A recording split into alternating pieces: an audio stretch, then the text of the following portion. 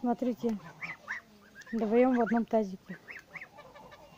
Третий рядом сидит. А бывало, знаете, еще как? Вдвоем сидел в тазике, а третий на них сидел. У меня несколько раз бывало так.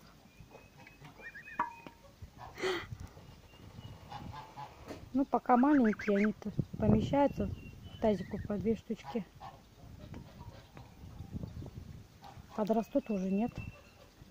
Тесно будет, мешаться будут друг другу. Так что вот.